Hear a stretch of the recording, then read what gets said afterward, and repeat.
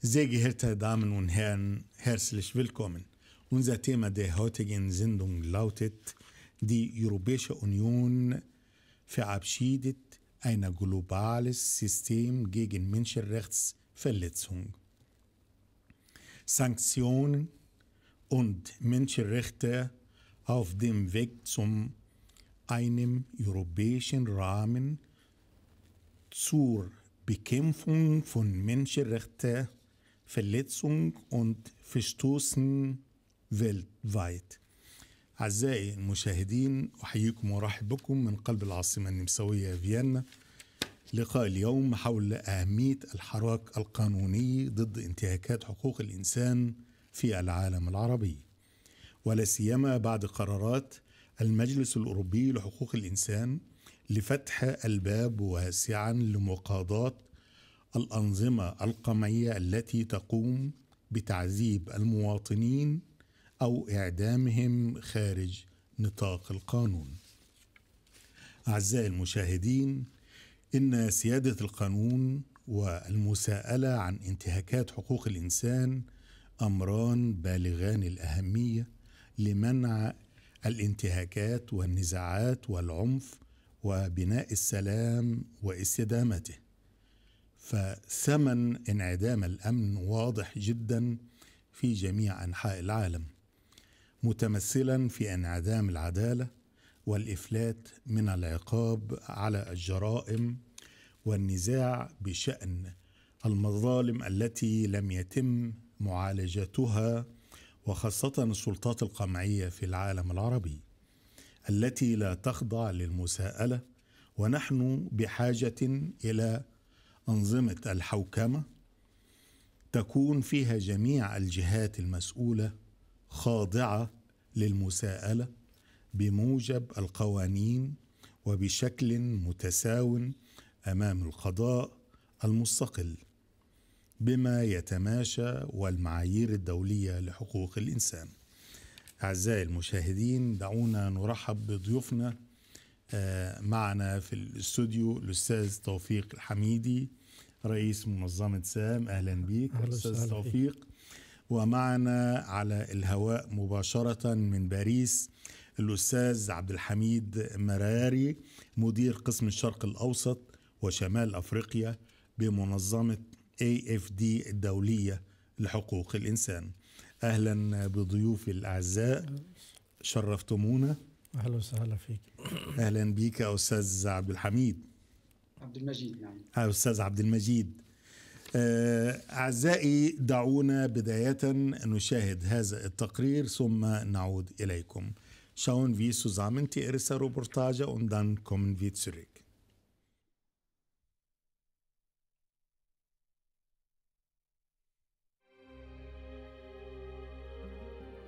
People around the world regularly struggle through periods of environmental and political turmoil. The United Nations undertakes global humanitarian efforts to try to help those in need, regardless of age, gender, or nationality.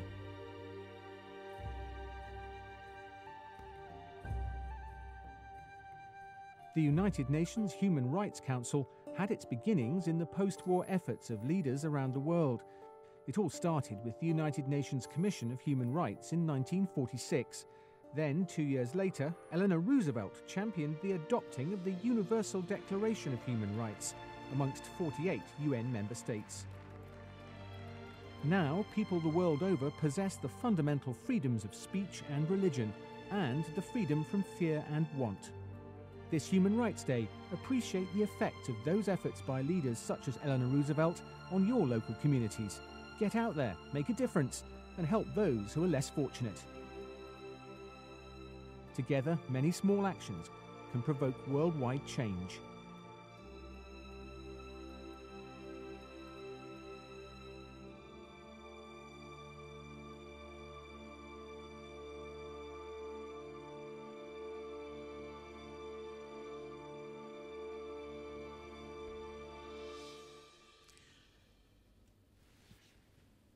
أعزائي المشاهدين عدنا إليكم بعد أن شاهدنا هذا التقرير حول معاناة الإنسان رغم هذا الكم الهائل من القوانين يعني الإعلان العالمي لحقوق الإنسان والاتفاقية الأوروبية لحقوق الإنسان جميع تلك القوانين يعني كفلت آه، الحقوق الكاملة للإنسان إلا وأنه آه، نجد آه، ما يعانيه الإنسان كل تلك القوانين لن تحميه. يعني حق الإنسان في الحياة وأنه لا يجوز إخضاع أي إنسان للتعذيب ولا يجوز الاسترقاق. ولكل إنسان الحق في الحرية ولكل إنسان الحق في التفكير والضمير والعقيدة واختيار يعني اعتقاده. والحق في حرية التعبير رغم كل تلك القوانين إلا وأنه مازال الإنسان يعاني ويرزخ تحت أنظمة قمعية وتحت صراعات بين الدول وبين الشعوب. أعزائي آه، دعونا نرحب مرة أخرى بضيوفنا الأستاذ عبد الحميد في الاستوديو. آه، نحب نعرف الأول يعني القليل عن منظمة سام.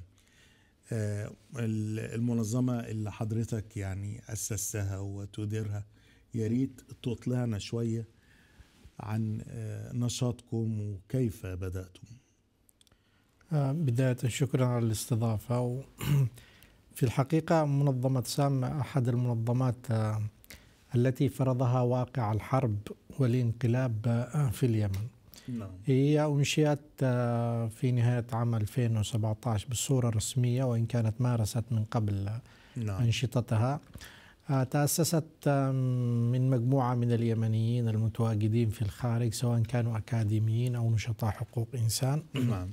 آه، سجلت المنظمة بصورة رئيسية في جنيف ولديها فرع موجود في اليمن بصورة رسمية. لديها مجموعة من الراصدين والمتطوعين الذين يعملون تقريبا في أغلب مناطق الصراع في اليمن.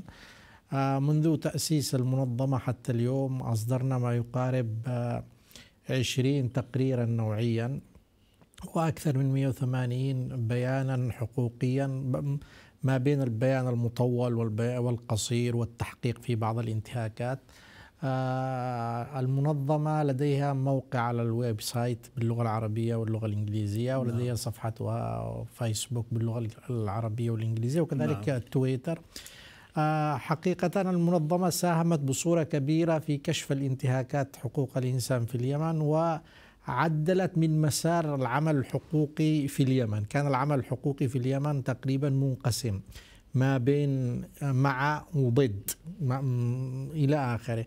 نحن ربما رصدنا ضد كل الانتهاكات في اليمن. آه كان شعارنا الوحيد نحن لسنا محايدين وإنما نحن في صف الضحايا. آه، كنا كمنظمة أول من كشفت السجون السرية لدولة الإمارات العربية المتحدة في اليمن نعم. نعم. في منتصف عام 2017 وأول منظمة أيضا أصدرت تقرير عن محرقة الحدود وما يلاقيه اليمنيون في إذا نستطيع القول أنتم منظمة يعني وجهتها اليمن بالضبط. ومتخصصة فقط في الشأن اليمني تواصل مع فريق التحقيق سواء التابع للمجلس العام أو لمجلس حقوق نعم. الإنسان بشأن إيصال أصوات الضحايا اليمنيين للعالم نعم آه، أستاذ عبد المجيد آه، مراري يعني يا ريت حضرتك يعني تطلعنا عن آه، منظمتكم اللي هي AFD الدولية لحقوق الإنسان يعني من المستهدف وماذا تفعلون على وجه التحديد؟ نعم تحية لك أستاذ أسواني وتحية لضيفك الكريم أستاذ توفيق الذي أحييه على مجهوداته الطيبة في اشتغاله والمجهودات المهنية في الملف اليمني. منظمة نعم. إفدي الدولية لحقوق الإنسان IFD International هي منظمة حقوقية أسست سنة 2005 نعم. من قبل عدد من الأوروبيين فيها فرنسيين بلجيكيين فيها إيطاليين ألمان وإسبان مجموعة شخصيات أوروبية منها محامون وباحثون في مجال القانون الدولي نعم. وشخصيات أخرى من مختلف الجنسيات. أسست هذه المنظمة في بروكسل المقر الاجتماعي للمنظمة هو بروكسل.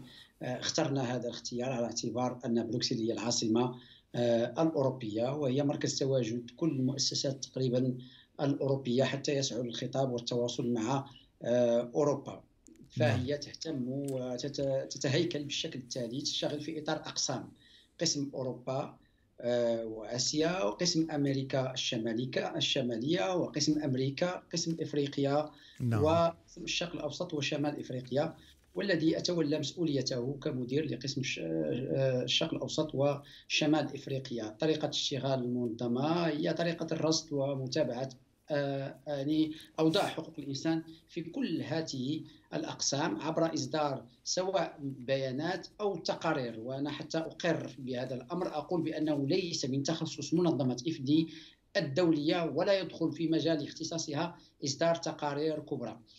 حاولنا أن نعطي نوع من التجديد في العمل الحقوقي وهو أن تتولى المنظمة الإجراءات القضائية والقيام بناء على قيام قبل ذلك ببعثات تقصي للحقائق. وقمنا بذلك بعدة تجارب في تركيا تونس في قطر في المغرب قبل ذلك في خمس بعثات تقصي حقائق آه، وبعثات حقوقية هناك. ثم بعد ذلك نتوجه إلى الإجراءات القضائية. توجهنا قمنا بعدة إجراءات قضائية في الملف في القضية الفلسطينية من 2008 في أول دعوة رفعت أمام أوكامبو آنذاك أنا هو المدعي العام خاص بمحكمة الجناية الدولية آنذاك. ثم بدعوة 2012 دعوة 2014 وغيرها. ثم اهتمينا واشتغلنا على الملف المصري بشكل بشكل كبير حيث كانت منظمة افدي الدوليه بين المنظمه أول منظمة تدخل دعوة دولية نعم. أمام القضاء الفرنسي في إختار إختار إطار اختصاص الولاء الشامل.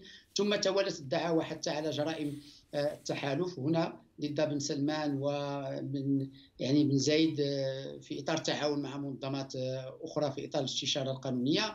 ثم هناك دعاوى في مجالات أخرى وكذلك نشتغل بشراكة مع مجموعة المؤسسات الأوروبية وكذلك نشتغل ولنا حضور كذلك في مجلس حقوق الإنسان التابع للأمم المتحدة في إطار شراكة وعمل مشترك مع مجموعة آليات من مقررين خاصين وفرق عاملة وخبراء الأمم المتحدة آه، في في جنيف في الولايات المتحدة الأمريكية.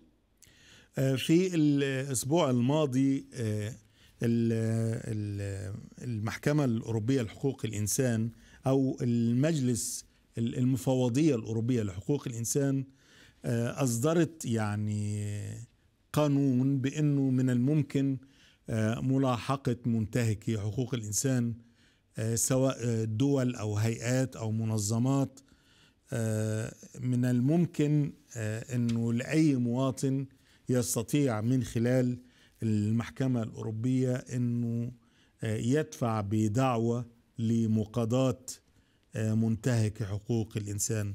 كيف ترى آه، آه، هذا القرار الذي اتخذته المفوضية الأوروبية لحقوق الإنسان؟ نعم. دعني في البداية أوضح أمر مهم في هذا في هذا القرار بأنه جاء بناء على يعني سنوات من المشاورات وسنوات من الضغط من قبل العدد من المنظمات الحقوقية على المستوى الأوروبي حتى لا يكتفي المجلس الأوروبي ولجنة حقوق الإنسان داخل المجلس الأوروبي التي كنا دائما نحييها على عملها وعلى عملية رصد لا تكتفي بالبيانات والإدانات والتقارير قلنا لابد من إنشاء آلية للمحاسبة وللعقاب فبعد نعم. ذلك بعد النقاش آه، وتجاوب وأنا أحيي من هذا المنبر تجاوب بشكل كبير وتفاعل معه حزب الخضر آه، على المستوى الأوروبي والتي كان وراء الضغط على إصدار مثل هذه الخطوات القيمة. هو قرار مهم جدا. يمس مجموعة انتهاكات لكن العنوان الكبير لهذه الانتهاكات وهو كل ما يدخل تحت لافتة جرائم ضد الإنسانية التعذيب القتل خارج القضاء إعدام آه، التعسفي ثم الغريب في هذا القرار والجميل في هذا القرار هو أنه حتى حتى المنع التظاهر السلمي ومس بحرية الاعتقاد والتدين حتى هي تم إدخالها ضمن اختصاص هذا القرار فبالتالي يمكن حتى متابعة ليس فقط الدول العربية ولكن أيضا ملاحقة حتى بعض الدول الأوروبية التي يعني ربما تلجأ إلى نوع من الكراهية أو تنشئ نوع من الكراهية تجاه بعض الإثنيات وبعض الأديان وبعض يعني الأعراق. المجلس الأوروبي يتكون تقريبا من 47 دولة. هل القرارات الصادرة عن المحكمة الأوروبية لحقوق الإنسان ملزمة لتلك الدول ولا يعني سنظل نحن آه، في فلك آه، إصدار قوانين وما أكثرها القوانين وفي النهاية بنجدها غير ملزمة.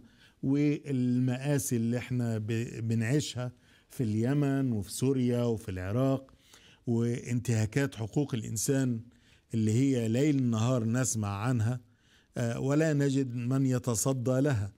يعني سؤالي لحضرتك يا أستاذ توفيق يعني إحنا ما أكثرها القوانين هل هذه القرارات الصادرة ملزمة؟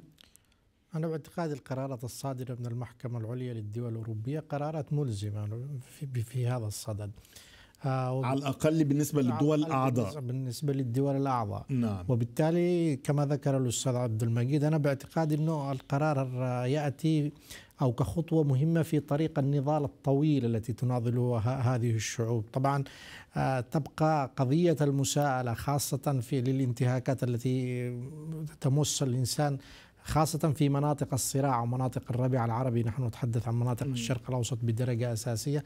تبقى قضية المساءلة هي الحلقة المفقودة. هنالك مجموعة من العوائق السياسية والاقتصادية والعلاقات الدولية تمنع آه، مثل هذه المساءلات هنالك على المستوى الداخلي لا يوجد قضاء بالمعنى الحقيقي القضاء المستقل الذي يمكن لأي مواطن أن يلجأ إليه ضد كله مسيس مع الأسف للأسف الشديد نعم. وأيضا المنظومة التشريعية بأكملها غير مؤهلة للنظر في قضايا حقوق الإنسان سواء كانت في اليمن أو في دول الخليج أو في مصر أو في كثير من هذه الدول نعم. آه الحقوقيون كانوا يسعون جاهدين لاست استصدار إدانات متعلقة بمجلس حقوق الإنسان أو بمجلس الأمن ومحاولة الذهاب إلى محكمة الجناية الدولية أحد آخر الجهود البشرية من أجل تثبيت أو آه، جعل مبدأ المساءلة مبدأ واقعا مفروضا على الأشخاص أين مقرها المحكمة؟ في لاهاي في لاهاي, في لاهاي. اليوم نعم. يأتي القرار الأوروبي باعتقادي سيعزز آه،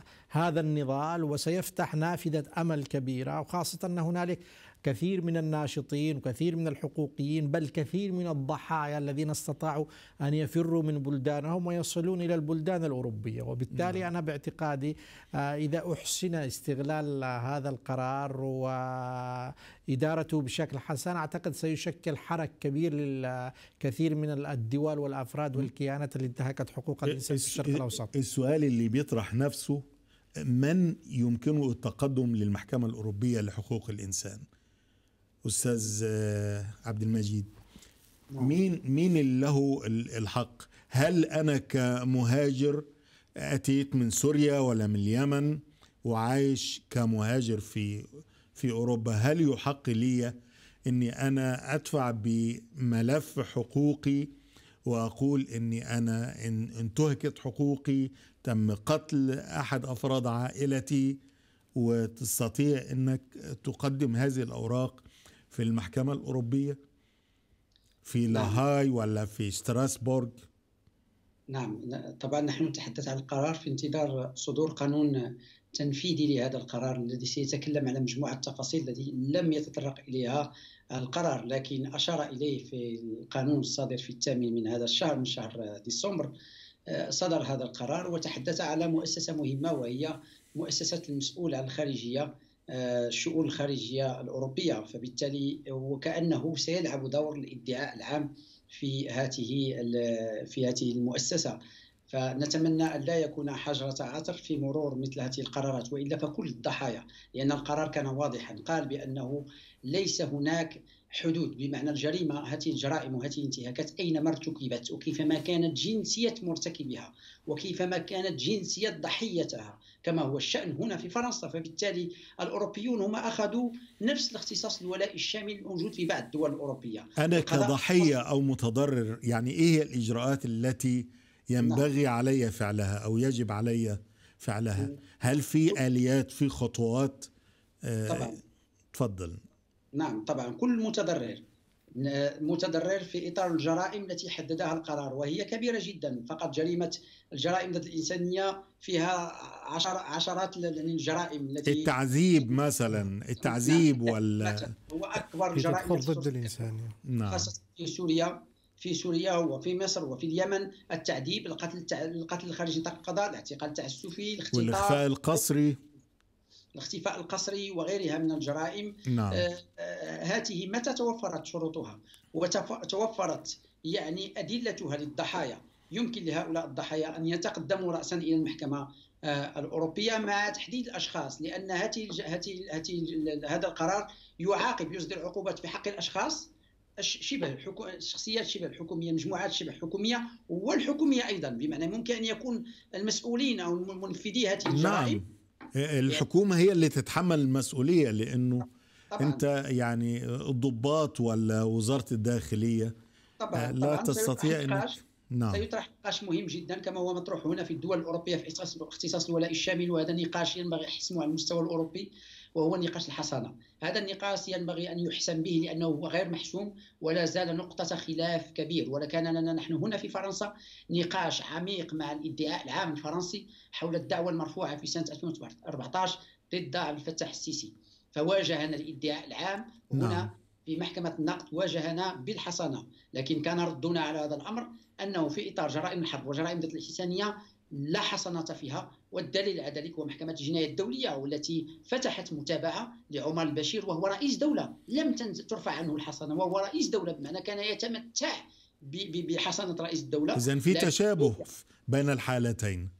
نعم. هناك تشابه بين الحالتين. طبعا نعم لأنه توبع في إطار جرائم حرب ونحن رفعنا دعوة في إطار جرائم ضد الإنسانية وهي كلها تدخل في اختصاص يعني في إطار المادة السابعة واطار المادة الثامنة ثم القانون المؤسس أصلا لاختصاص الولاء الشامل والذي ارتكزت عليه حتى ارتكز عليه القرار الأوروبي. وهو آه، اتفاقية مناهضه التعذيب ثم اتفاقية جنيف لأن اتفاقية جنيف هي التي أعطت هذا الاختصاص الولاء الشامل وهي التي سمحت حتى للاوروبي الآن أن يدخلوا في هذا الاختصاص وأن أن يصدروا هذا القرار. وإلا لولا لولا اتفاقية جنيف والبروتوكولين المكملين لها لما كان للأوروبيين أن يدخلوا في ذلك لأن اتفاقيه جنيف أرادت أن تخفف العبء عن القضاء الدولي فأعطت هذا الاختصاص لبعض القضاءات الوطنية كي يخفف عبء محكمة العبء الذي سيقع على محكمة محكمة الجنايات الدولية فبالتالي من حق الأوروبيين أن ينظروا في هذه الجرائم. ينبغي بالفعل أن لا تسيس المتابعة وأن لا تحابى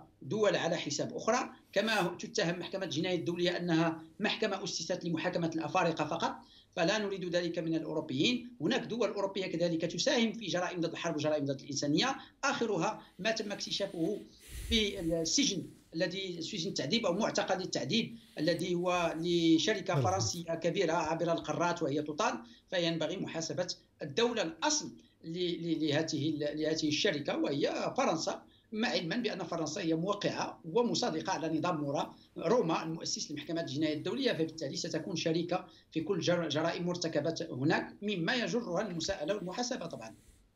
طيب يعني بالنسبة للضحايا كما نعلم أنه الذهاب للمحاكم مكلف ويحتاج إلى أنك تذهب إلى محامي ويكون هناك في نفقات كثيرة. كيف للمهاجرين اللي هم لحقهم ضرر وكانوا ضحايا لتلك الأنظمة المجرمة إنه يدفعوا بأوراقهم أو ملفاتهم إلى المحاكم وهم لا يمتلكون المال؟ ما هي السبل كي يستطيع إنه آه، يقدم آه، أوراقه للمحكمة؟ إذا هو آه. يعني لا يمتلك المال. نعم. لا هذا الأمر نقطة المال أحيانا المنظمات الحقوقية صراحة نحن نشتغل في إطار دعم. يعني نطلب دعم من من من الناس الشعبي هكذا. لدعم قضية من القضايا كما عملنا مع قضية السيسي أعلنا عليها وطلبنا فتحنا يعني صندوق للدعم لدعم هذه القضية لأنه كانت الدولة الفرنسية والقضاء الفرنسي يعني طلب منا يعني كفالة مالية أو ضمانه مالية عفوا تقدر ب 22 ألف أورو فتم. يعني وضعها بعد أن جمعت من قبل مجموعة متبرعين في إطار مهرجان آه، خطبي وكانت في إطار شفافية ووضوح ووضعت بعد وصل الايداع من قبل المحكمة فبالتالي هذا أمر متجاوز أمر المال نحن المشكل الذي نجد سيدي نعم. أن يتجرأ من هؤلاء الضحايا وهؤلاء المهاجرين أن يجتمع ويكتمل له ملف كما هو يفترض وكما هو كما تطلبه آه، الشروط خاصة هنا في فرنسا تجربة هنا مع فرنسا ومع بعض الدول الأخرى وهي شروط ليست بالسهلة.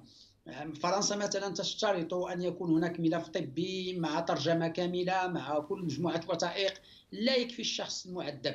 لكن ينبغي ما, يدل ما ينبغي التدليل على ذلك لأن سيبقى فقط مجرد ادعاء إن لم تكن هناك أدلة أدلة من تقرير طبي من شهود إذا وجد هناك شهود. وهذا الأمر وجهنا به نحن هنا في فرنسا رغم أنه كانت لنا قضية أخرى قوية جدا لضحية يمتلك ملف طبي من قبل الصليب الأحمر.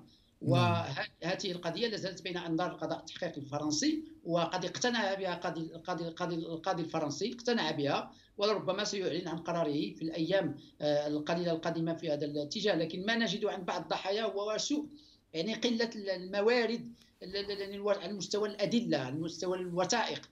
ثم الإشكال الثاني هو تخوف بعض الضحايا على أهاليهم في في مصر أو في اليمن أو في الدولة أو في سوريا أو غيرها. هذا الإشكال نجده نجد الضحية. ضحية يعني ضحية تعذيب ضحية إخفاء قسري لكن الإشكال أنه عندما نطلب منه إعطاء توكيل للمنظمة أو لمحامي المنظمة يتخوف على ذويه ابوه أو عائلته في, إنه يتم ملاحقتهم. نعم صحيح. هذا إشكال هذا إشكال يلاحق هذا إشكال نجده دائما يقف في طريق أي متابعة أو أي محاسبة. والاشكال المالي صراحة هو اشكال متزاوج متجاوز جدا لأن هناك بعض المحامون محامون أصحاب قضية وليس ليسوا أصحاب ارتزاق. آه، أستاذ توفيق يعني إحنا السنوات الماضية وجدنا يعني أغلب المنظمات الحقوقية بتهتم فقط من الناحيه الإعلامية ولكن الإجراءات إنها تشجع المتضررين أو الضحايا إنه يجهزوا ملفات بشكل قانوني بحيث يكون بها من الحيثيات والأدلة الجنائية التي تدين آه، آه، منتهك حقوق الإنسان. يعني ما زال نحن بعيدين تماما عن آه، هذه هذا الطريق إنه نذهب إلى المحاكم. كيف يعني تشرح لنا الوضع وإيه هي العوائق اللي تعوق الضحية أنه يذهب للمحكمة؟ وفي حقيقة الأمر نستطيع أن نقول أن هنالك على الأرض يعني اتجاهين. هنالك اتجاهات يعني منظمات حقوقية. آه، هدفها الأساسي هو أن ترصد وتوثق وتكشف هذه الانتهاكات للعالم بحيث تشكل ورقة ضغط من خلال التشبيك مع مجموعة من المنظمات لتخفيف هذه الانتهاكات أو الحد منها بصورة مباشرة نعم.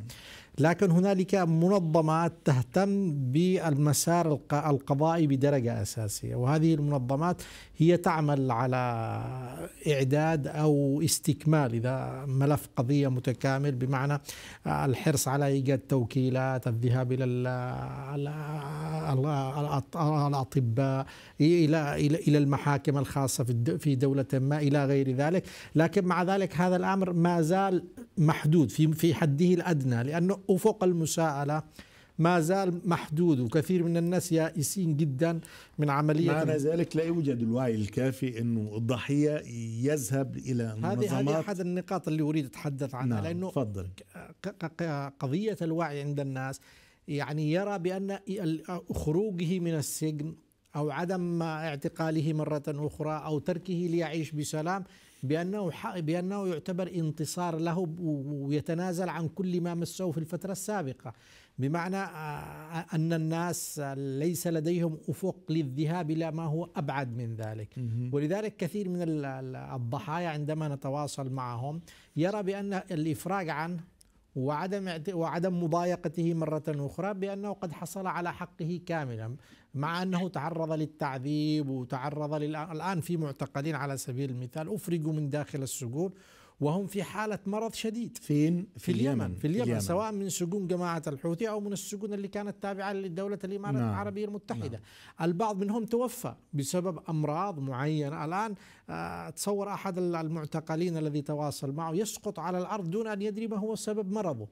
حتى الأطباء غير قادرين على تشخيص المرض. ولذلك هو الآن مجبر أن يسافر خارج اليمن لدرجة يقول أنه باع ذهب أمه وأخته إلى غير ذلك من أجل أن يحصل على العلاج. هذه الناس قلة الوعي وعدم وجود هذه الثقافة ثقافة المساءلة والحصول على التعويض الكامل والعادل وطرق أبواب المحاكم بالضبط جعلت الناس يعني يكتفون بالحد الأدنى فقط وطبعا هذا الأمر تتحمله جزء منه المنظمات الحقوقية والجزء الآخر يتحمله الثقافة الموجودة داخل المجتمع للأسف الشديد. آه، أستاذ عبد المجيد يعني إحنا هل هو خافي على المحاكم ذات الولاية الشاملة أو الولاية العامة آه، سواء آه، المحكمة محكمة العدل في لاهاي ولا آه، المحكمة الأوروبية هل خافي عليها كل ما يحدث من جرائم ويعني اعتداء على الإنسانية من تلك الأنظمة القمعية هل خافي عليهم؟ يعني أنا أعتقد المشاهد واضحة ما يحدث في العراق وما يحدث في سوريا وما يحدث في مصر. آه، لماذا لا تقوم تلك المحاكم؟ آه، بفتح أبواب أبوابها لأنه الناس تتقدم بالشكاوى بشكل مباشر يعني بدون آه، الإجراءات الروتينية الطويلة اللي هي حتى يعني تطرق باب المحكمة. نعم. أكيد أن هذه المحاكم وضعت كي لا يتم اللجوء إليها. لماذا؟ لتعقيد آلياتها. انظر مثلا أعطي نموذج فقط محكمة الجناية الدولية والتي من 2007 ونحن نسعى إلى الدخول إليها. بعد جهد جهيد صراحة قبلت أول دعوة في 2008 بعد ذلك بعد ضغط على أوكامبو وقع ما وقع من كواليس والضغط عليه لكي يرفض الشكاية من جديد وغيرها. فبالتالي مجموعة تعقيدات أهمها هو توقيع الدولة ومصادقة الدولة. نعم تقع جرائم ضد الإنسانية في سوريا وجرائم حرب وكوارث تقع باعتراف الأمم المتحدة وباعتراف الخبراء وكل المحققين وباعتراف. لكن إذا لم تستوفي الشروط القانونية للجوء إلى المحكمة المحكمة لا تفتح تحقيق من تلقاء نفسها. المحكمة مقيدة بمجلس الأمن مقيدة بقرارات دولية رغم أن هناك أخطأوا ووضعوا فصل مهم جدا الذي يضع محكمة الجناية الدولية في حرج وأنا أتحدث محكمة الجناية الدولية لأن هي المتخصصة الوحيدة على المستوى الدولي في جرائم الحرب وجرائم ضد الإنسانية وجرائم العدوان. محكمة العدل الدولية طبعا الأخرى هي مختصة في الخلاف عندما يقع خلاف بين الدول على مستوى الدول في إطار الاتفاقيات أو في إطار تفسير بعض الفصول أو شيء ذلك. لكن محكمة الجنايه الدولية المادة 15 تعطي الاختصاص للسيدة المدعية العامة لمحكمة الجنايات الدولية تقول بالحرف بأنه متى تبين في الفقرة الثانية متى تبين للسيدة المدعية للادعاء العام أنه ما ارتكب في دولة ما جريمة حرب أو جريمة آه، ضد الإنسانية أو جريمة عدوان وفق المادة 8 مكرر لها الحق أن تأمر بفتح تحقيق طبعا بعد اللجوء إلى الغرفة التمهيدية. فبالتالي مجلس الأمن دائما يعمل فيتو على هذا القرار. طيب إحنا الآن يا أستاذ عبد المجيد الآن إحنا عندنا يعني جرائم حرب حدثت في مصر. يعني عندك أنت مذبحة رابعة يعني قتل فيها الآلاف. ومع ذلك آه، نجد إنه جميع المحاكم الدولية يعني آه، تغلق أعينها وكأنها لا ترى. الجرائم التي حدثت في اليمن جراء اعتداء آه، دولة الإمارات والسعودية أو التحالف. الجرائم اللي اخترفوها ضد آه، أطفال المدارس والسجون اللي أخفوا فيها النشطاء السياسيين. هل هذا كله خافي على المحاكم المهتمة بالشأن الحقوقي؟ لا غير غير خافي على الإطلاق، المشكل أنا كما قلت أنها موظفي موظفو هؤلاء المحاكم من قضاة ومن مكتب الادعاء العام وغيره متقيد بالمساطر والإجراءات متقيد بال بال بال بال يعني بالشكليات. فالشكل كما يقال في نحن القانونيون هذا معروف هذا المصطلح أن الشكل من النظام العام. نحن ننتهي في المرافعة من الشكل بعد ذلك نخوض في الموضوع. فالإشكال أنه عندما يتوفر لا يتوفر لك الشرط الشرط اللجوء تنعدم القضية من أساسها. أنا اعطي نموذج مصر. مصر مثلا كانت هناك محاولة لطرق أبواب محكمة الجناية الدولية وقدمت شكاية من قبل عدد من البرلمانيين المصريين الذين يشكلون الأغلبية في البرلمان ووقعوا على المادة 12 في من نظام روما الفقرة الثالثة منه التي تعطي الصلاحية نظر القضاء الدولي في في جرائم ارتكبت في بلدهم. لكن القضاء رد عليهم بأن مصر غير ليست دولة عضو في محكمة الجناية الدولية. وبالتالي محكمة الجناية الدولية تعطي بالدار لما ارتكب في رابعة وغيرها من من المواقع من جرائم حرب وجرائم ضد الإنسانية. انظر سيدي إلى القضية الفلسطينية. قلت من 2017 من 2000 من 2007 ونحن نجري وراء محكمة الجناية الدولية على الجرائم التي ارتكبت في حق الشعب الشعب الفلسطيني إلى حين 2019 نعم. تعلن المدعية العامة أنها ستفتح تحقيق بعد نقاش مع الغرفة التمهيدية وغير ذلك. فبالتالي من 2007 النضال بدأ والسعي إلى محكمة الجناية الدولية ويتحقق من 2007 يتحقق في 2019 فالمسار ليس سهلا. فكانت هناك يعني إلى حين إلى حين 2020 كذلك في أوت كان المفروض أن تفتح تحقيق لكن وقع ما وقع من مشروع من صفقه القرار. نعم. نعم. طيب يبدو أنه في عطل آه نستكمل مع الأستاذ عبد تم التواصل مع الهيئه العام. أيوه. فكانت فبالتالي نعم. أيوه آه سامعينك. كان حصل عطل عندك؟ ولكن اتفضل كمل. نعم قلت أنه أنه كل ذلك كل مرة تتضرع محكمة الجناية الدولية بسبب من الأسباب ودائما تتمسك مسألة توقيع الدولة وبأن الدولة ليست عضو. فبالتالي هذا الذي نتخوف منه كذلك في إطار هذه الآلية الجديدة الأوروبية. نتمنى ان لا توضع القانون التنفيذي والقانون الإجرائي في هذا في في اللجوء إلى إلى المحكمة الأوروبية. نتمنى ان لا تكون عراقيل من هذا الباب كفرنسا مثلا التي تشترط وجود شخص مؤدب على الأراضي الفرنسية. كيف لي أنا أن أحضر الشخص المؤدب حتى يمكن لي أن أدخل الدعوة؟ ننتظر زيارة عبد الفتاح السيسي أو أي وزير داخلية كي ندخل الدعوة. لماذا لا نفعل كألمانيا؟ ألمانيا لا تشترط لا تشترط على الاطلاق وجود شخص مؤدب. ألمانيا إذا وجدت أطراف نعم. يبدو أنه في في عائق في الإنترنت عند الأستاذ عبد المجيد. فوق الأرض الفرنسية. طيب أحسنت. أستاذ توفيق يعني أنت السنوات الماضية اشتغلتوا كتير على العديد من الملفات الحقوقية. هل يعني هناك عوائق تحول دون ذهابكم إلى المحاكم؟ طبعا هنالك مجموعة. وإيه هي الإجراءات والآليات التي يعني ينبغي لكم عملها حتى تستطيعوا إنكم تدفعوا بملف حقوقي كامل بحيث المحكمة تقبله. طبعا هنالك جهود في خلال السنوات السابقة خاصة وأن الانتهاكات التي مورست في حق اليمن أصبحت واضحة بل أصبحت هي حديث الإعلام وحديث السياسة على حد سواء.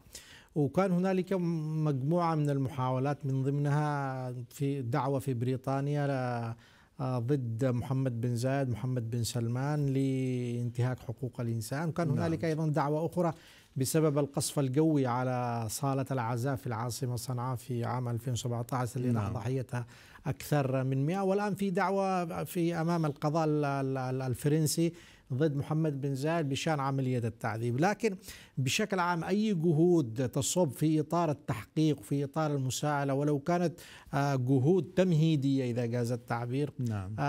تواجه بكثير من الإشكاليات. على سبيل المثال لجنة الخبراء البارزين التي حققت في الشأن اليمني أصدرت تقريرها الأول في عام 2017 م. وتضمن لائحة سرية وعندما تضمنت لائحة سرية قامت المملكة العربية السعودية والإمارات واليمن لأن لم أصبحت تتبع السياسة العامة لهذه الدول بمقاطعة هذه اللجنة هل تم إحالة الملف لمحكمة الجنايات الدولية؟ لا في الملف الأخير عام 2019 استند بصورة كبيرة إلى القانون الجنائي وطالب رئيس اللجنة في المؤتمر الصحفي كمال الجندوب بإحالة الملف إلى لجنة التحقيق الدولية. وعندما طرح هذا التقرير على مجلس حقوق الإنسان أكد هذا الأمر. ربما هذه لأول مرة يحال هذا القرار التقرير إلى الجمعية العامة للأمم المتحدة وعقد مجلس الأمن جلسة مغلقة للاستماع لهذا الأمر وأكد أيضا رئيس اللجنة بضرورة إحالة هذا الملف إلى محكمة الجنايات الدولية وكما تمت هنالك ندوة مع الاتحاد الأوروبي باعتقاد أن اللجنة نفسها التي تحقق في انتهاكات حقوق الإنسان وصلت إلى قناعة بأنها قد استكملت التحقيق في كل أنماط حقوق الإنسان التي ارتكبت في اليمن وأصبح من الضروري جدا نعم. اليوم الذهاب إلى محكمة الجنايات الدولية لأنه نحن نعتقد كحقوقيين في اليمن لا يمكن أن توقف الانتهاكات ولا يمكن أن يرتدع الأفراد عن ممارسة أو عن اختراق القوانين بصورة كبيرة ما لم تكن هنالك مساءلة جدية إذا إيه هي العوائق؟ إيه هي العوائق اللي تحول دون هالمساءلة هنالك عوائق تأتي بالدرجة الأساسية إضافة إلى العوائق التي ذكرها الأستاذ عبد المجيد المتعلقة بالإجراءات القانونية هنالك عوائق سياسية بالدرجة الأس... الأولى هنالك مصالح المصالح. مصالح تشابك مشتركة المصالح. تشابك المصالح آه الكل يعلم أنه عندما تعقد الجلسة الخاصة في اليمن غالبا في يوم 29 من شهر سبتمبر تدار نقاشات عميقة وتكتلات كبيرة بين الدول وصفقات اقتصادية إلى غير ذلك. واعتقد أن الدول الأوروبية خاصة في ظل وضع كورونا والهزات الاقتصادية التي حدثت لها لا يمكن أن تفرط بمصالحها. نحن أصدرنا تقرير مع أحد المنظمات الشريكة البريطانية. بريطانيا باعت بما يقارب من 6 مليار دولار أو جنيه استرليني سلاح للمملكة العربية السعودية أعطت اليمن نعم. ما يقارب 400 ألف مساعدة إنسانية بل أن الحكومة البريطانية اخترقت قرار من المحكمة العليا البريطانية بعدم آه يعني التشبيك اللوجستي مع القوات السعودية ومع ذلك اخترقت هذا القرار من أجل مصالح مادية اليوم فرنسا بلجيكا نعم. كل الدول وبالتالي أنا باعتقادي آه ما لم توجد حتى القرار نقطة شيران القرار الأخير أو التقرير الأخير لجنة الخبراء أشار إلى أطراف غير مباشرة تغذي الصراع في اليمن وتساهم في ارتكاب حقوق الإنسان. وذكر فرنسا وذكر كندا وذكر بريطانيا وأمريكا إذا دعنا أو دعونا نشاهد هذا التقرير حول ما يحدث في اليمن ونتطرق من بعد عن تلك الدعاوى المرفوعة ضد محمد بن زايد و إلى ماذا وصل الملف بالنسبة لمقاضاته في فرنسا. Schauen wir zusammen die zweite Reportage und kommen. Amnesty International filmed this footage close to the northern city of Sadr, a Houthi stronghold. Local villager Qassem Salah al Shaiba says the airstrikes destroyed his house. He denies any link to the rebels and shows a picture of his dead son. This is the weapon.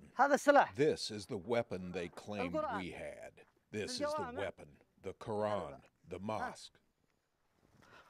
Amnesty looked into 13 airstrikes by the coalition between May and July in Sadr. In one direct airstrike we looked into and visited the site in July, there were a cluster of nine houses, and there were four consecutive airstrikes that were spaced out over two hours. 55 people were killed, 35 of which were children under the age of 11. Amnesty also claims to have found the remains of cluster munitions banned under international treaties. Saudi Arabia did not respond directly to Amnesty's accusations, but has said in the past that it only targets rebel fighters and has denied using cluster bombs. We're asking for all states to, first of all, suspend, and specifically the US, um, the arms transfer to all members of the coalition given that there are war crimes being committed, and two, for the international community to investigate these war crimes. The United Nations human rights body issued a report last month detailing alleged violations of international law by all sides in the conflict. The report does not at any point accuse the coalition forces of deliberately targeting civilians and civilian infrastructure although it does catalogue several specific incidents involving airstrikes that caused large numbers of civilian casualties. In the six months since April, the United Nations says more than 2,350 civilians have been killed in the conflict. Henry Ridgewell for VOA News, London. أعزائي المشاهدين عدنا إليكم بعد أن شاهدنا هذا التقرير عن معاناة الشعب اليمني بعد الاعتداءات الواضحة من قوة التحالف والضحية الأول والأخير هو الشعب اليمني.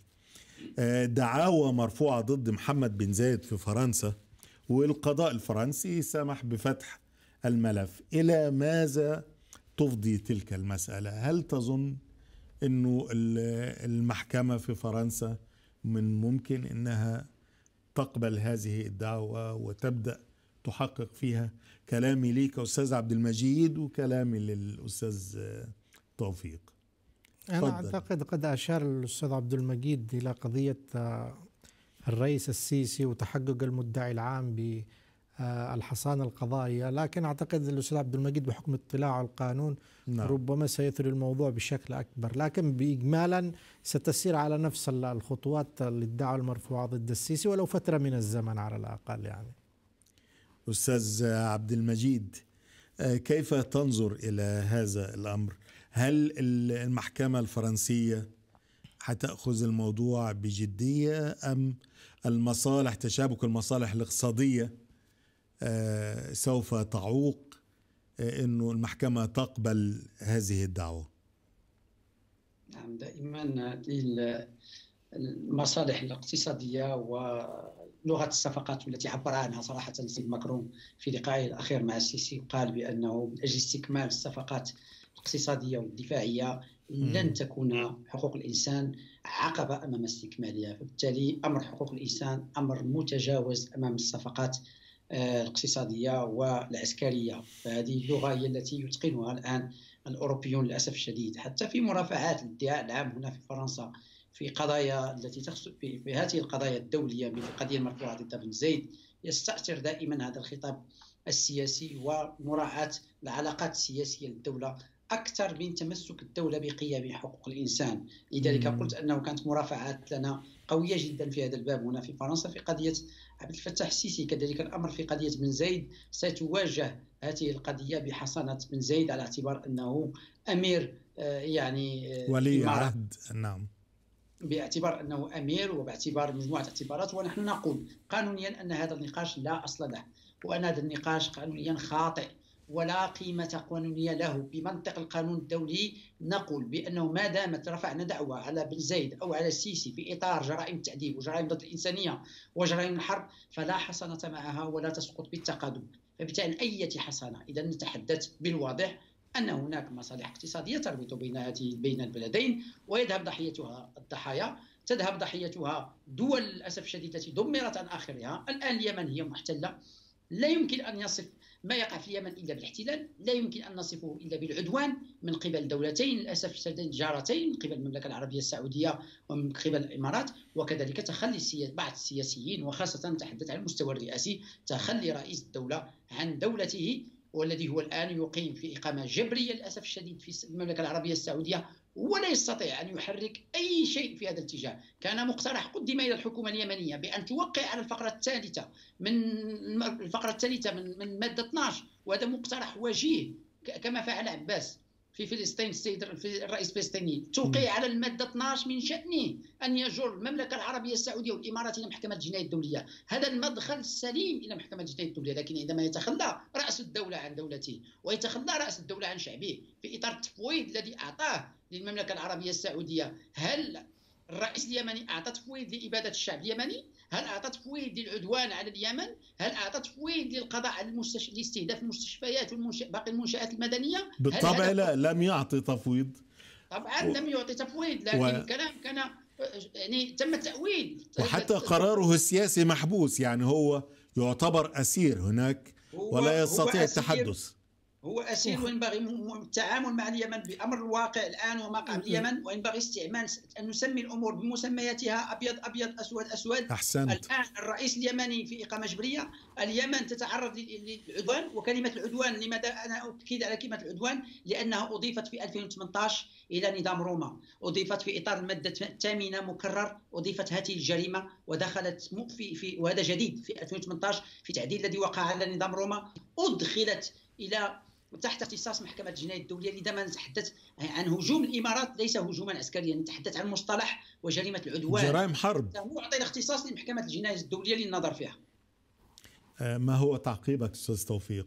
هو طبعا نحن لو نظرنا لطلب الرئيس عبد الرب منصور هادي في عام 2015 للتحالف العربي هو طلب قيد مهمة التحالف في أمرين اثنين. الأمر الأول هو استعادة الشرعية والأمر الثاني كسر انقلاب جماعة الحوثي.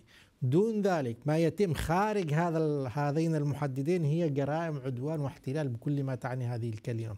اليوم اليمن تقريبا كل السواحل اليمنية أصبحت تحت سيطرة دولة الإمارات العربية المتحدة. لا يستطيع حتى الصيادون اليمنيون من أجل لقمة عيشهم أن يدخلوا البحر تحت اعتبارات أمنية أو حقوق أمنية مما ساهم بصورة كبيرة حتى في تف... أو في تعميق الأزمة الإنسانية اليوم التي تتحدث عنها الأمم المتحدة كأولوية رئيسية لها في اليمن. الذهاب إلى سقطرى الجزيرة النائية في عمق البحر دون أن يكون هنالك جماعة الحوثيين دون أن يكون هنالك ليس هناك مبرر. وليس له هنالك مبرر. مم. وكان الأمر واضح. اليوم هنالك تغييرات هنالك بناء لقوات عسكرية إلى غير ذلك. المملكة العربية السعودية اليوم تدفع بقوات كبيرة جدا إلى محافظة المهرة وهي محافظة محاددة لسلطنة عمان. تبني اليوم منشآت عسكرية في مطار الغيضة. تتحكم اليوم في ميناء نشطون. آه، تتحكم حتى في المنفذ التجاري بينها وبين سلطنة عمان. مما أدى حتى إلى انخفاض الواردات. يعني اليوم ليس فقط العملية آه، متعلقة بانتهاكات وإنما أيضا متعلقة حتى بالموارد المالية في ميناء بلحاف. هنالك الإيرادات النفطية تورد إلى حساب بنكي يتبع الهلال الحساب البنك الأهلي السعودي. هنالك اليوم حاكم فعلي لليمن هو السفير السعودي محمد آل جابر. هنالك اللجنة الخاصة بمعنى اليوم تحولت اليمن لدى صانع القرار السعودي إلى إلى إلى إلى, إلى, إلى قضية أمنية. يعني آه، في عام في أغسطس عام 2019 يقتل 300 ويجرح 300 جندي يمني بطيران إماراتي آه، بكل وضوح دون حتى إنكار. الرئيس هذه يعتبر هذه قواتهم يعتبره إرهاب. بمعنى اليوم نتفق مع المصطلح اليوم نحن نعيش حالة احتلال واضحة. بكل ما تعني هذه الكلمة. والحديث اليوم عن اتفاق الرياض واحد واتفاق الرياض اثنين واتفاق الرياض ثلاثة هو من أجل تثبيت التمرد الجديد الموجود على الأرض. اليوم لن يشهد اليمن استقرار ما دام آه، قد رهن قراره بصورة كبيرة للتحالف العربي. ما لم تعد بناء أو تموضع العلاقة بين الحكومة اليمنية والسعودية إلى علاقة ندية ومشتركة قائمة على حسن الجوار قائمة على المصالح المشتركة باعتقادي بأن اليمن سيخسر أكثر. اليوم كل يوم يمر اليمنيون يخسرون ماليا وإنسانيا واستقرارا واستنزاف بصورة مستمرة. أستاذ عبد المجيد يعني آه، رغم إنه فرنسا يعني بها المحكمة الأوروبية في ستراسبورغ آه، المحكمة الأوروبية لحقوق الإنسان إلا وأنه وجدنا أنه فرنسا من أكثر الدول انتهاكا لحقوق الإنسان في الأمر المتعلق بحق آه، المرأة في أنها تنتقب. هناك قرارات في فرنسا تمنع المرأة المسلمة أنها تلبس النقاب أو الحجاب. داخل المدارس. وجدنا فرنسا كذلك آه، آه، أساءت إلى الرسول صلى الله عليه وسلم على الرغم من أنه الأمم المتحدة والمحكمة الأوروبية لحقوق الإنسان أدانت ذلك وقالت أنه الإساءة لرسول لرسول الإسلام ليس لا يندرج ضمن حرية التعبير. وجدنا كذلك آه، في فرنسا قانون الأمن الشامل آه، وهناك يعني تظاهرات عارمة آه، ضد الرئيس ماكرون. يعني بماذا يعني تصف موقف فرنسا حيال انتهاكها لحقوق الإنسان وهي يعني بلد يعني بتحتضن يعني أكبر محكمة لحقوق الإنسان في أوروبا؟ نعم. نحن في آخر بيان لنا في ما يقع في فرنسا.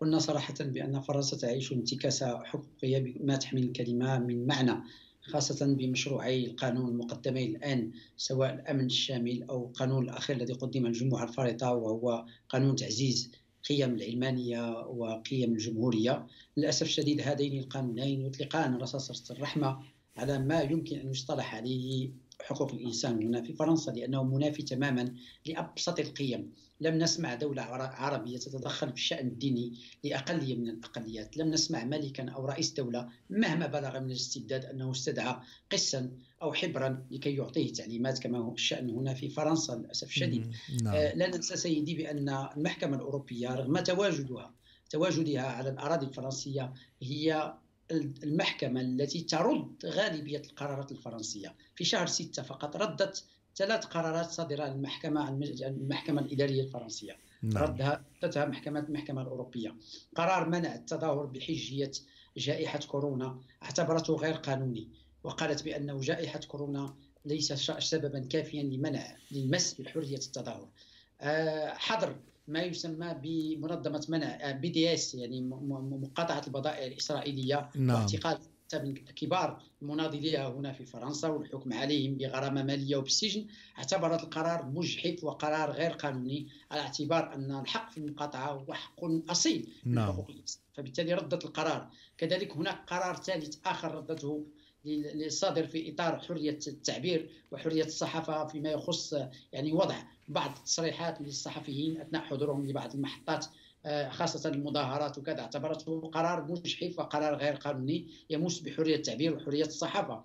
كذلك نحن متأكدون بأن هذا القانون إذا ذهب إلى المحكمة الأوروبية سيتم الطعن فيه وسيتم رد قرار فيه لأنه قرار غير قانوني فبالتالي المعركة ليس فقط أمام البرلمان وليس فقط في الشارع حتى وإن مرره بقوة القانون والسيد ماكرو له هذه الصلاحية رئيس نعم. الجمهورية يمرره بقوة بقوة فصل يستعمله دائما كما استعمله في قانون التقاعد سيستعمله في هذين المشروعين لكن بعد ذلك نحن أمامنا مجلس الدولة وبعد ذلك أمامنا حتى المجلس الدستوري على اعتبار عدم دستورية آه، هذه القوانين كما فعلنا مع مقترح نزع الجنسية واعتبرها المجلس الدستوري الفرنسي اعتبرها مشروع غير دستوري لأن نزع الجنسيه هذا أمر مخالف للدستور الفرنسي نعم. وحتى قانون الأمن الشامل الماده 24 منه والمادة 11 والماده 21 كذلك هي كلها مواد منافية للقانون نسمح ونتكلم عن حرية التعبير لوضع رسوم كاريكاتورية لنبي الإسلام.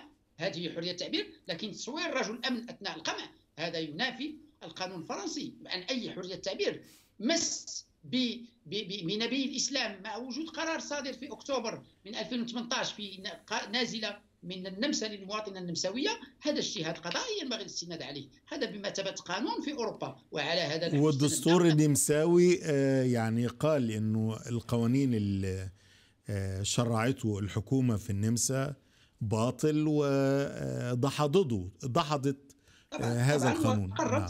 أقرت العقوبة المالية ضد المرأة التي عملت هذا الكاريكاتير وأقرتها المحكمة الأوروبية. فهذا وهذا اجتهاد قضائي نحن استندنا عليه هنا في فرنسا في الدعوة المرفوعة. هناك الآن دعوة مرفوعة ضد الجريدة إياها مرفوعة هنا في فرنسا. فبالتالي فرنسا نعم. تعيش انتكاسة حقوقية. ولكن المحكمة الأوروبية نحن صراحة نحييها.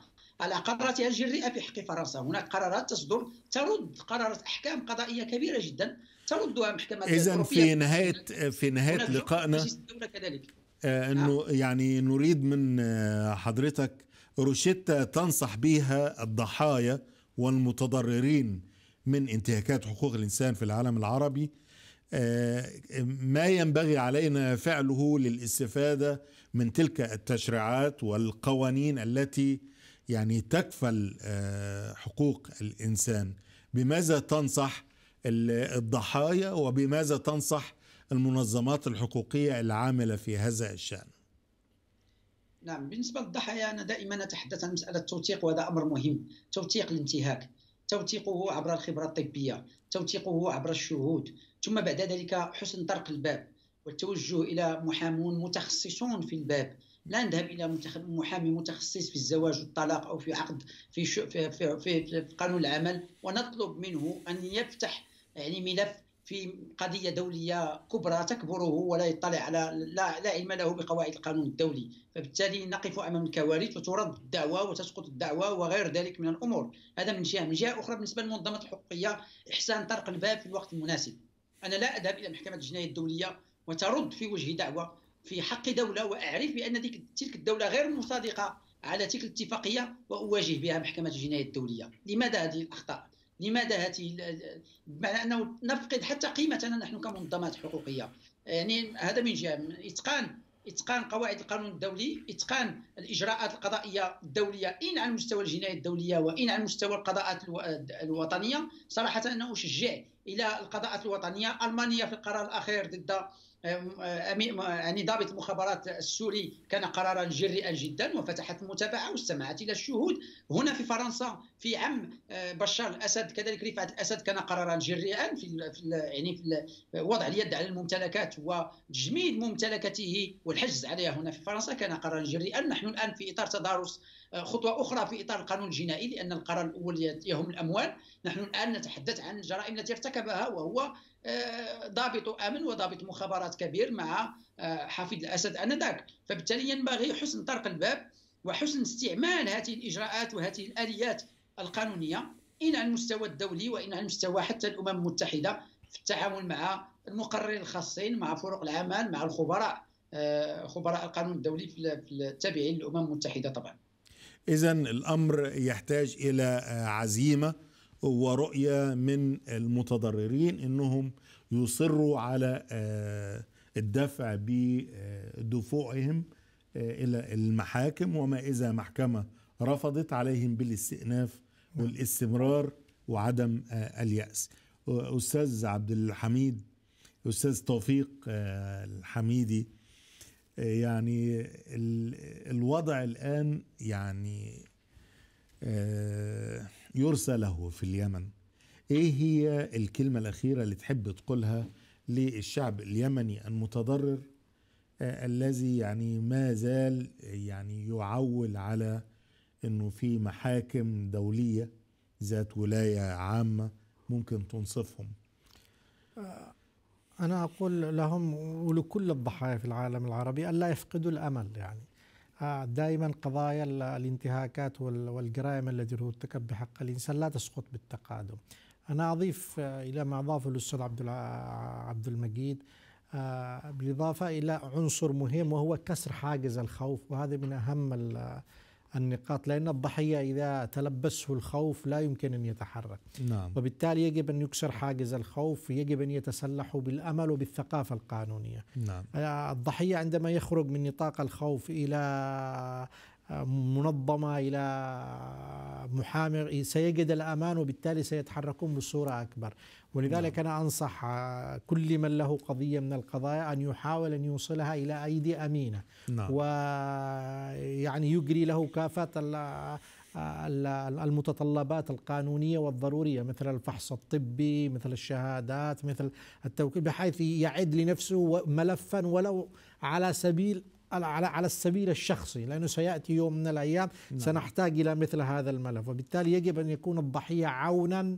لنفسه اولا وللعدالة ثانيا في المستقبل أو في سواء المستقبل القريب أو المستقبل البعيد لأنه مهما طال الزمن هنالك كثير من الدكتاتوريين آه، في نهاية أعمارهم وبعد أن استلذوا بالسلطة سقطوا في النهاية في أقفاص العدالة ونالوا جزاءهم العادل. اذا إحنا آه، لا نقف آه، يعني فقط في مواجهة الأنظمة القمعية آه، إعلاميا ولكن علينا أن نتحرك آه، إلى القضاء نعم. حتى آه، نأخذ حقوقنا كاملة في نهاية هذا اللقاء. لا يسعني إلا أني أتوجه بالشكر لحضرتك أستاذ توفيق الحميدي والأستاذ عبد المجيد المراري. مرحبا بك وسعدنا بلقائك الطيب. وأعزائي المشاهدين لقاء اليوم كان حول أهمية الحراك القانوني ضد انتهاكات حقوق الإنسان في العالم العربي ولا سيما بعد قرارات المجلس الأوروبي لحقوق الإنسان لفتح الباب واسعا لمقاضاة الأنظمة القمعية التي تقوم بتعذيب المواطنين أو إعدامهم خارج نطاق القانون وفي نهاية حديثي أقول ما ضاع حق وراءه مطالب. والسلام عليكم ورحمة الله وبركاته. دانكيشن شكرا. thank you